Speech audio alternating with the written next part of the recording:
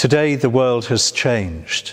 With the death of Her Majesty Queen Elizabeth II, who has served for over seven decades, we see the end of an era. This will have an impact not only in uh, this country, but also in the Commonwealth and beyond across the globe, where she has been respected, indeed revered, for her commitment to duty and service over such a long time.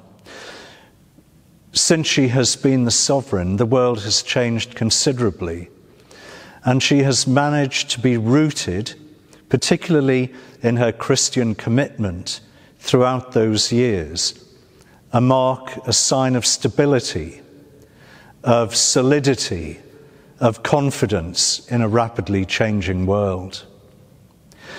But today we pray not only for the rest of her soul, but also for those she leaves behind, for her family who know her not just as the Queen, but as someone they loved deeply, as a mother, grandmother, great grandmother.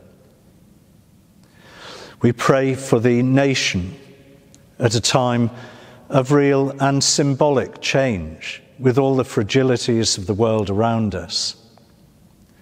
And we pray for the Commonwealth and the wider global community at a time of conflict and uncertainty.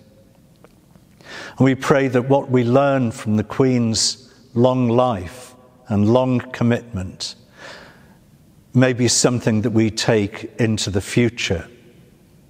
So we pray for ourselves, we pray for the new sovereign. But at this point, we thank God for Her Majesty the Queen and commend her to the God of mercy and love, whom she has served for so long.